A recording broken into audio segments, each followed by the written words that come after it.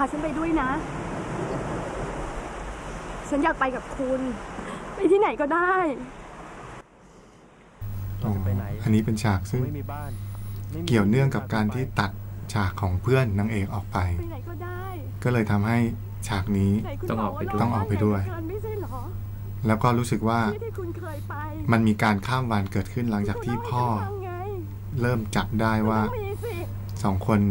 มีอะไรกัน มีอะไรกัน แล้วมันมีการข้ามวันเกิดขึ้นสองวันกว่าที่พระเอกจะกลับ และเหตุการณ์ใหญ่จะเกิด ก็เลยรู้สึกต้องย่นวันวันเข้าด้วยกันก็เลยจำเป็นต้องเอาวันนี้ทั้งวันเหตุการณ์ที่เกิดขึ้นในวันนี้ทั้งวันในช่วงเช้า ทิ้งไปเพื่อให้หนังเข้ามาสู่ไคลแม็กซ์ได้เร็วขึ้น แต่จริงๆฉากนี้เป็นฉากซึ่ง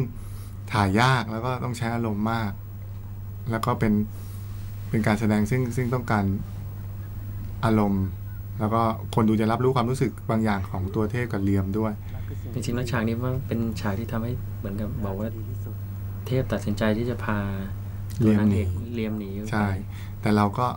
ไปแก้กันด้วยว่าเล่าเป็นในทางที่ปิดคนดูว่าสองคนนัดกันหรือไม่นัดกัน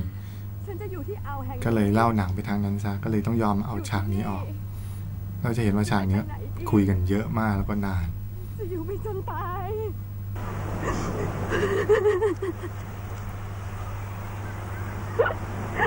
ハハハハハ。